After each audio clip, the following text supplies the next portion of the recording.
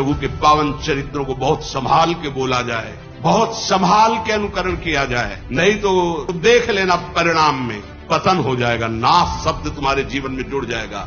ये उपहास का विषय नहीं है भगवान श्री राम कृष्ण का पावन चरित्र। ये मनोरंजन का विषय नहीं है कि तुम जैसा चाहो वैसा बोल लो।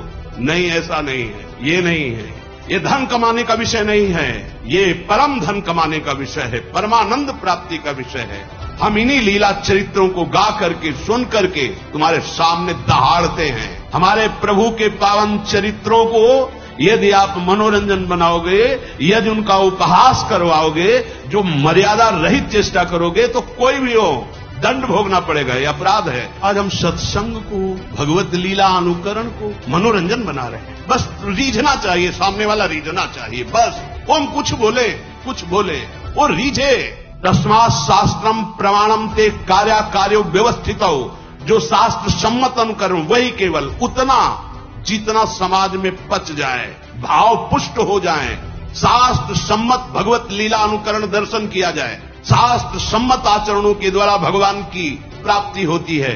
मनमानी लीलानुकरण या मनमानी बोलना या मनमानी आचरण करना, ये केवल नरक प्राप्ति का हेतु हो सकता है, भगवत प्राप्ति का हेतु नहीं। जैसा मन आए वैसा संत का नाटक बना दो, जैसा मन आए वैसा भगवंत का नाटक बना दो। केवल मनोरंजन करना चाहिए, बस। आप चाहे बोले, चाहे लीलानुकरण करें तस्मात शास्त्र, एक भी शब्द, शास्त्र प्रतिकूल बोला तो ये मत समझना कि शास्त्र खिलवाड़ है या भगवान के चरित्र ऐसे ही गा दिए गए हैं।